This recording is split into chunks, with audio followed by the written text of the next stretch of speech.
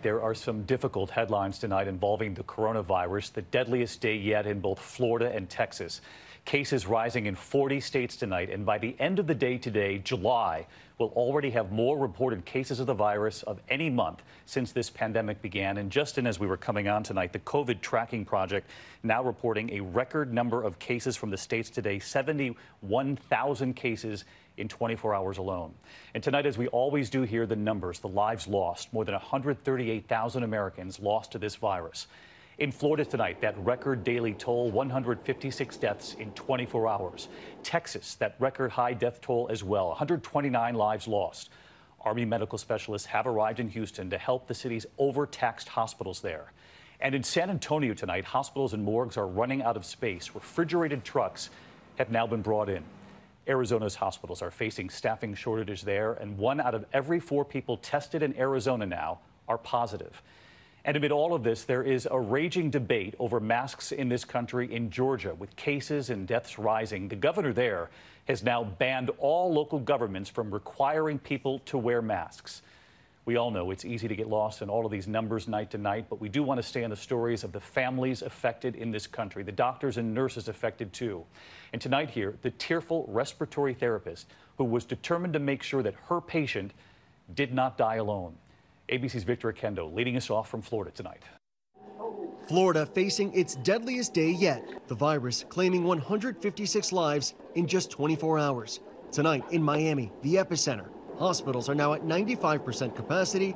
This plea from the front lines. As an ICU nurse, uh, I beg you to take this virus seriously. Doctors say there is an urgent need for plasma. The governor says he's working with the White House to get more of the drug remdesivir. If something is not done to dramatically alter our course, we could be in a, a more dire situation than what we're in. Nearly 14,000 new cases reported, lines for testing lasting hours, the wait for results for some taking weeks. So I'm going to pull your mask a little bit forward. I went in for a test this morning, the nurse telling me the labs are simply overwhelmed. It sounds frustrating. On average now, how long does it take for the labs to get the results back?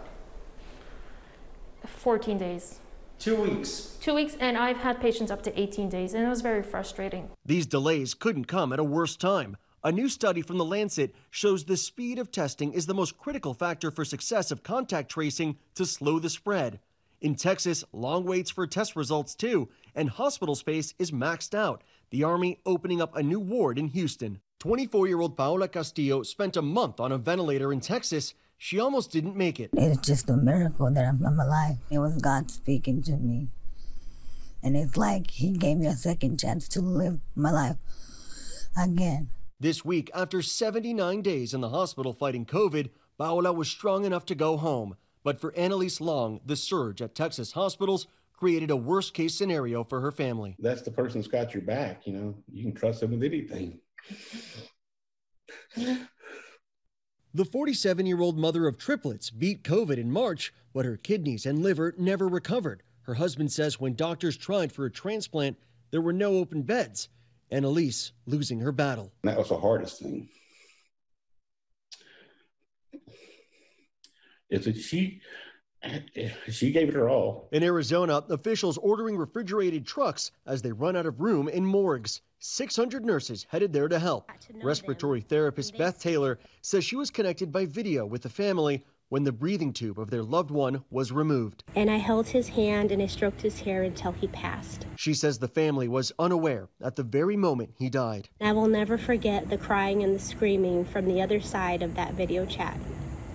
I want that family member, those family members to know that I sat with him and I held his hand until he passed and that he was not alone.